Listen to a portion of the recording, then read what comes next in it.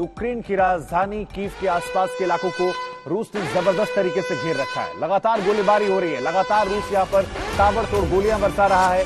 बर्बादी का आलम जो है, वो यहाँ पर देखने को मिल रहा है। तो दिन भले ही अठारवा हो गया हो, लेकिन परिस्थितियाँ जो हैं, वो नहीं बदली हैं और अट्ठारहवें दिन भी ताबड़तोड़ हमले जो हैं, वो लगातार यहाँ पर जारी हैं। तो एक बार फिर हम आपको बता दें, ये कहा जा रहा है कीव से केवल 14 से 16 किलोमीटर की दूरी पर फ़िलहाल रूसी फौज मौजूद है और लगातार हमले जो हैं वो यहाँ पर हो रहे हैं। हालाँकि अमेरिका ने कहा है कि वो हथियारों की मदद ज़रूर करेगा, लेकिन क्या वो काफ़ी हैं?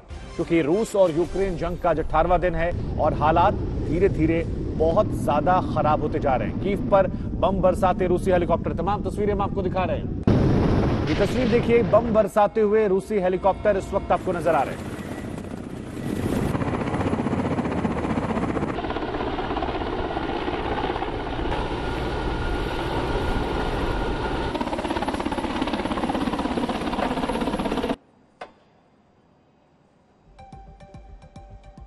और आपको बता दें, तमाम तस्वीरें देखिए कीव पर बम बरसाते हेलीकॉप्टर की तस्वीर हम आपको दिखा रहे हैं इस वक्त। ये तमाम इमेजेस जो हैं, ये आज तक पर हम आपको एक्सक्लूसिव दिखा रहे हैं, क्योंकि तस्वीरें बहुत अहमियत रखती हैं, जिस हिसाब से यहाँ पर बमबारी जो है, वो देखने को मिली है।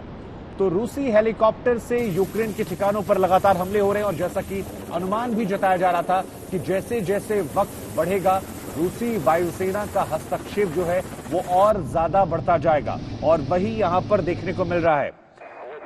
लगातार यहाँ पर हमला जो है, वो किया जा रहा है और इस हमले का असर क्या है, वो भी इन तस्वीरों से बखूबी आप देख सकते हैं।